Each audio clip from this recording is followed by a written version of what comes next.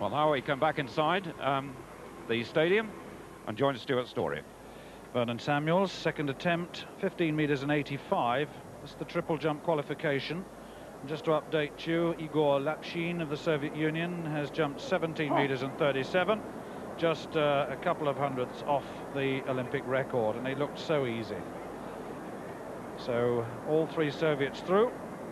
Now Vernon Samuels has to achieve a personal best in order to qualify. His best, 16.75, and uh, his qualification, 16 metres and 90. Have to compose himself here.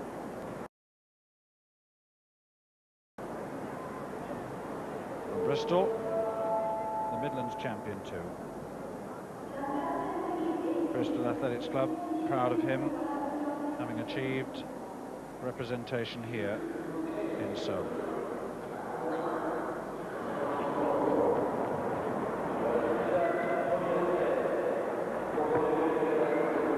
Yeah, that looked a little better. That looked a little better. And there was a bit more bounce as he got out of the pit. The white flag has just been raised, so he must have been very close to the edge of the board. This was better good, solid piece of sprinting into the board. The readjustment there, the driving right knee. And the recovery better this time, right over the takeoff foot. And the jump, the hang, very nice indeed. Well, let's see if he's done better. It certainly looked better.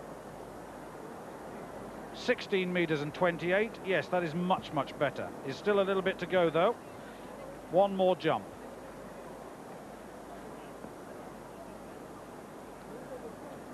So from the triple jump, uh,